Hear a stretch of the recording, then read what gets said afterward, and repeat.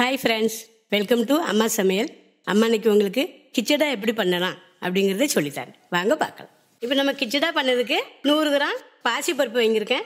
நூறு கிராம் உளுந்தம்பருப்பு வாங்கியிருக்கேன். நூறு கிராம் கடலைப்பருப்பு வாங்கியிருக்கேன்.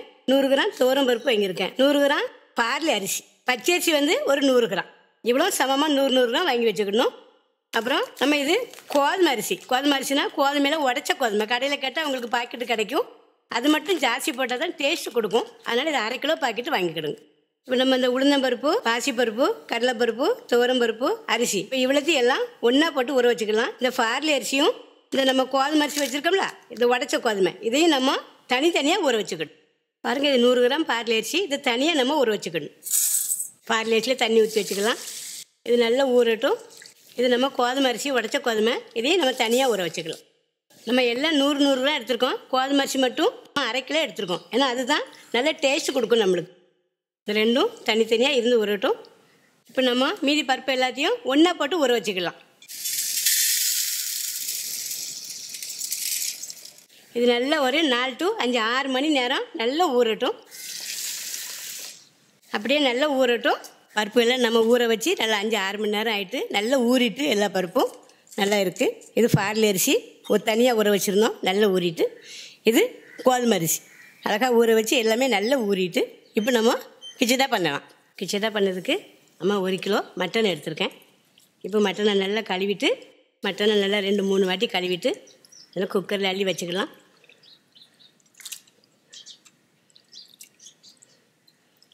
இந்த மட்டனில் கொஞ்சம் மஞ்சள் பொடி போட்டுக்கிடுங்க. அப்புறம் இந்த கறிக்கு தகுந்த அளவு இந்த உப்பு போட்டுக்கிடுங்க. இப்போ நம்ம இப்படியே குக்கரில் வச்சு அடுப்பில் வச்சு வேக வைக்கலாம் இதை. இப்போ நம்ம மட்டனை நல்லா நாலு அஞ்சு விசில் போட்டு நல்லா வேக வச்சு எடுத்துக்கலாம். அடுப்பை பற்றிக்கலாம் இப்போ நம்ம நல்ல மட்டனை இதில் வேக வச்சு எடுத்துக்கலாம். இப்போ குக்கர் நாலு அஞ்சாறு விசில் வந்துட்டு நல்லா கறி நல்லா வெந்திருக்கும். இப்போ நம்ம ஆஃப் பண்ணி கறி எடுத்துக்கலாம்.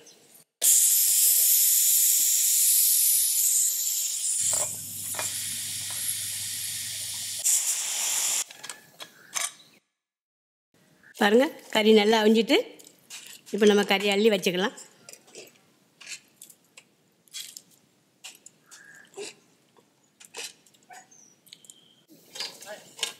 இப்போ நம்ம கறியை வச்ச தண்ணியிலையே நம்ம பருப்பெல்லாம் ஊற போட்டு வச்சுருந்தோம்ல இந்த பருப்பை அதிலே போட்டு அவிச்சிக்கலாம்.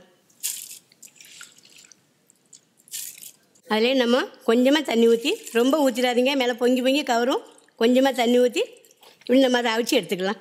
நம்ம இதில் எல்லா பருப்பு வகையை மட்டும் இதில் போட்டு அவிக்கணும். இதில் பார்லி அரிசியும் கோதுமை அரிசியும் போடக்கூடாது. அதை நம்ம தனித்தனியாக அவிச்சுக்கிடணும்.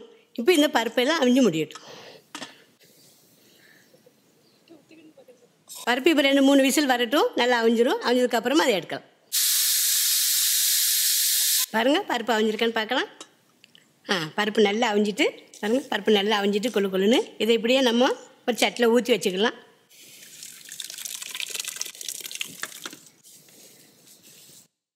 இப்போ நம்ம பார்லி அரிசியாக தனியாக போட்டு அவிச்சு எடுத்துக்கலாம். பார்லியும் கோதுமையும் தனித்தனியாக தான் அவிக்கணும். இப்போ இதை நல்லா நம்ம அவிச்சு எடுத்துக்கலாம். இப்போ பார்லி அரிசி அவிஞ்சிருக்கும். நம்ம பார்க்கலாம். ஆ பாருங்கள் நல்லா அவிஞ்சிட்டு. பார்லி அரிசி கொஞ்சம் சீக்கிரமாக அவியாது. இந்த பாருங்கள் இப்போ நல்லா அவிஞ்சிருக்கு. ஆ நல்லா அவிஞ்சிட்டு. இது ஒரு ஏழு எட்டு விசில்கிட்ட போட்டுக்கிடுங்க. நல்லா அவிஞ்சிடும் இப்போ இதை ஊற்றி வச்சுக்கலாம். இல்லை அப்படியே ஒரு பாத்திரத்தை ஊற்றி வச்சுக்கிடுவோம். இப்போ பால் அரிசி அவிச்சு முடிச்சிட்டோம். இப்போ இந்த கோதுமை அரிசி அதிலே ஊற்றி நம்ம அவிச்சு எடுத்துக்கலாம். எல்லாமே நூறு கிராம் தான். கோதுமை அரிசி மட்டும் அரை கிலோ போடுதோம் இதை மட்டும் ஜாஸ்தியாக இருக்கணும். அப்போ தான் டேஸ்ட் நல்லாயிருக்கும் இதுலேயும் கொஞ்சமாக தண்ணி ஊற்றி நம்ம அவிச்சுக்கலாம். மூடி வச்சுக்கணும் பாருங்கள் இப்போ அவிஞ்சிட்டு நல்லா நம்ம பார்க்கலாம். ஆ பாருங்கள் இப்போ நல்லா அவிஞ்சிட்டு இப்போ நம்ம இதை ஒரு சட்டில் போட்டு அப்படியே கொஞ்சம் பருப்பு மொத்து வச்சு கரைஞ்சிக்கலாம் பாருங்கள் பருப்பு நல்லா அவிஞ்சிட்டு இன்னும் நம்ம கொஞ்சம் பருப்பு மத்து வச்சு இப்படி மசிச்சுக்கலாம். நல்லா குழு குழுன்னு ஆயிட்டுனா அதில் ஊற்றி நம்ம கிண்டதுக்கு ரொம்ப நல்லாயிருக்கும் போதும். இப்படி மசிச்சா போதும். ரொம்ப மசிச்சிடாதீங்க. கொஞ்சம் சாப்பிடும்போது நாக்கில் வர மாதிரி இருந்தால் ரொம்ப டேஸ்ட்டாக இருக்கும். இப்போ கோதுமை அரிசி நல்லா அவிஞ்சிட்டு அதையும் நம்ம கொஞ்சம் நல்லா மசிச்சுக்கலாம். எவ்வளோ தான் அவிச்சாலும் கோதுமை அரிசி கீழே பிடிக்கிற மாதிரி தான் இருக்கும். நல்லா தண்ணி வச்சு அழகாக அவிச்சு எடுத்துக்கிடுங்க. பார்லரிசியும் அதே மாதிரி கொஞ்சம் நச்சு வச்சுக்கலாம். நல்லா அவிஞ்சிட்டு கொஞ்சம் நச்சு வச்சுக்கலாம். அப்படி நல்லா மசிச்சுட்டா கொஞ்சம் நல்லா இருக்கும் குழுக்குள் இப்போ நம்ம அடுப்பில் ஒரு சட்டி வச்சுக்கலாம். சட்டி காஞ்சிட்டு இப்போ எண்ணெய் ஊற்றிக்கலாம். எண்ணெய் நல்லா காஞ்சிட்டு இப்போ நம்ம வெங்காயத்தை போட்டு நல்லா அதில் வறுத்துக்கலாம்.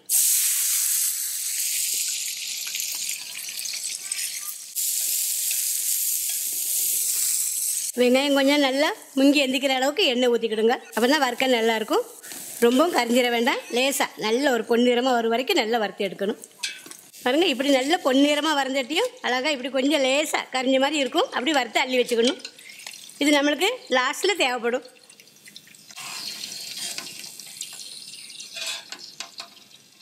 நம்ம அந்த வெங்காயத்தை பொரிச்ச எண்ணெயிலேயே நம்ம இஞ்சி பூடி பேஸ்டெல்லாம் அரைச்சி வச்சுருக்கோம்ல அதை போட்டுக்கலாம்.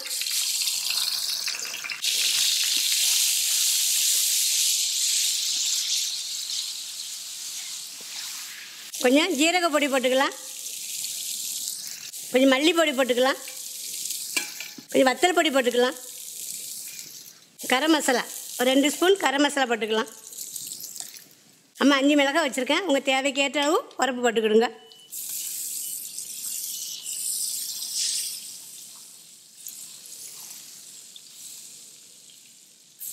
இப்போ நம்ம பருப்பை கடைஞ்சி வச்சுருங்களா வச்சு அதை அப்படியே ஊற்றிக்கலாம்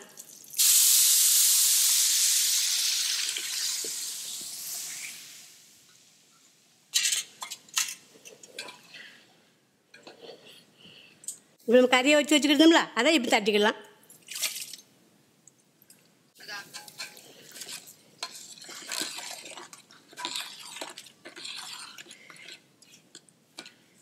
கொஞ்சம் இப்படி இருக்கட்டும்.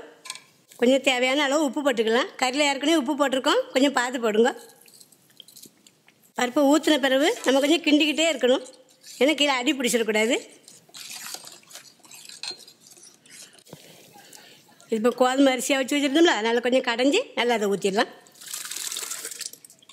பால் அரிசியாக வச்சு வச்சுருந்தோம்ல அதையும் ஊற்றிக்கலாம் ரொம்ப தண்ணி ஊற்றிட வேண்டாம். போதுமான அளவுக்கு நல்லா கொஞ்சம் கெட்டியாக குழு குழு இருக்க மாதிரி ஊற்றணும் எல்லாம் ஊற்றி முடித்த பிறகு உப்பு காணுமான்னு பார்த்து நீங்கள் உப்பு போட்டுக்கிடுங்க.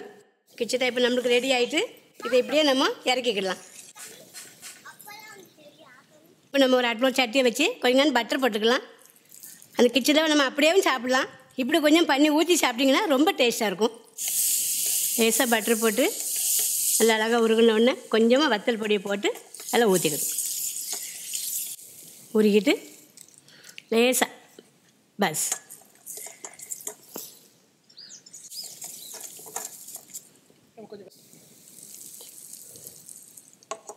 இப்படியே நம்ம எடுத்து நம்ம கிச்சனால் ஊற்றிக்கலாம்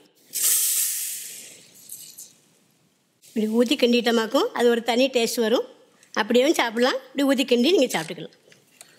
நம்ம இப்படியே கோரி ஒரு பிளேட்டில் வச்சுக்கலாம். நல்லா கறியெல்லாம் போட்டு பண்ணியிருக்கிறதுனால நம்மளுக்கு ரொம்ப டேஸ்ட்டாக இருக்கும். கிச்சடா. ரொம்ப அழகாக இருக்கும். வெங்காயம் வறுத்து வச்சுருந்தோம்ல அதை அள்ளி மேலே நல்லா நம்ம அப்படி தூத்திக்கலாம். இப்படி சாப்பிட்டா தான் அந்த கிச்சடாக்கே ரொம்ப டேஸ்ட்டு. மல்லித்தலையும் புதினா வச்சுருக்கேன் பொடிசாக வெட்டி அதை கொஞ்சமாக அள்ளி மேலே தூத்திக்கலாம்.